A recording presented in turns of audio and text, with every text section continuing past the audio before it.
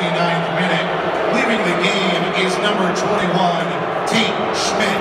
He is replaced by number 9, Justin Miro.